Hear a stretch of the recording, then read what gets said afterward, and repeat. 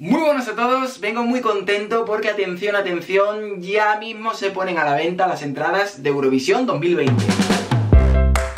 Y justamente esta mañana nos hemos levantado con esta noticia y estoy un poco nervioso con locura máxima porque el próximo día jueves 12 de diciembre podremos comprar, tenemos la posibilidad de comprar esas primeras entradas a las 12 del mediodía. Y en este caso se podrán comprar las entradas desde la web oficial de Eurovisión.tv, como digo, el día 12 de diciembre, jueves de la semana que viene, a partir de las 12 de la mañana. Eh, hora central europea, es decir, si sois de Canarias o de Reino Unido o de Portugal, pues sería a partir de las 11.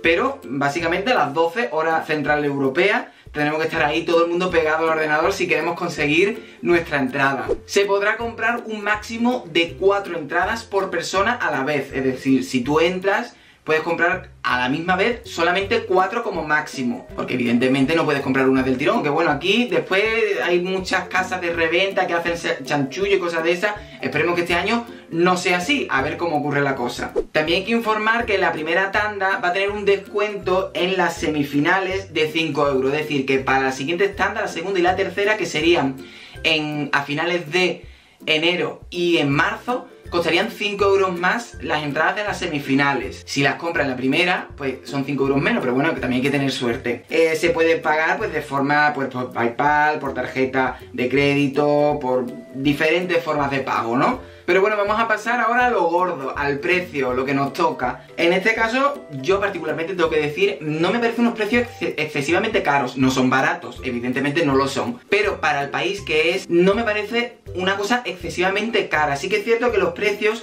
no hay tanta variedad de precios como por ejemplo en Lisboa. Que sí que es cierto que había mucha variedad, había precios un poco caros, pero en general todos eran relativamente asequibles. No ocurrió así en Tel Aviv, que eso era una locura los precios.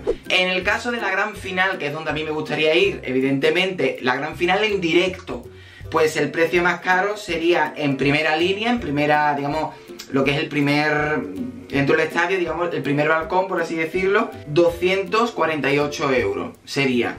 En la segunda, en el segundo balcón sería 198. Después en el área de limitación de visión, es decir, que no lo verías bien el escenario, lo que fuera, 88 euros.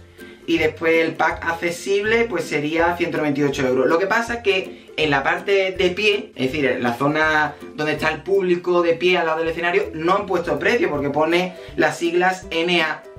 Así que no sé si lo, lo darán más adelante o todavía no han calculado muy bien pero no sabemos todavía el precio.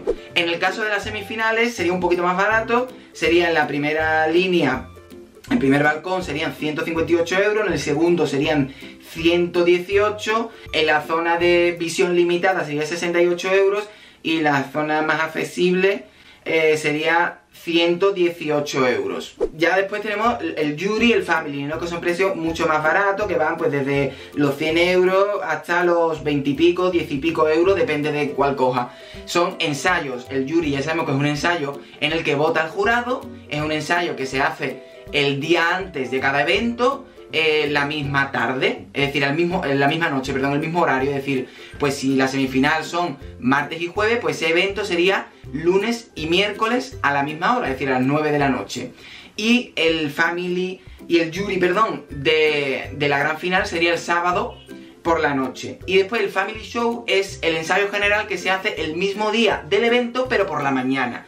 Es decir, sería martes, jueves y sábado, pero eh, en horario de mañana. Yo la verdad que veo precios relativamente aceptables. Son, no son baratitos, evidentemente, pero para el país que lo que se ofrece y tal como están tratando este año el festival, que va a ser una, una cosa bastante bien montada, yo lo veo relativamente razonable. No digo que sea una cosa baratura que me vuelvo loco, pero sí que es cierto que está bien, ya depende también de la economía de cada uno, esto hay que añadirlo obviamente el desplazamiento, el alojamiento, bueno, hay que tener una cartera un poquito en condiciones, una hucha bien guardada para poder ir de forma solvente al festival eh, si quieres pasarlo bien. Pero bueno, eso ya lo sabíamos de antemano. Así que nada más, si van saliendo más noticias, van saliendo algunas cositas más sobre las entradas, pues haré un nuevo vídeo. Este simplemente es informativo. Y me gustaría saber qué pensáis sobre los precios. ¿Creéis que está bien? ¿Que es demasiado caro? ¿Tenéis pensado ir?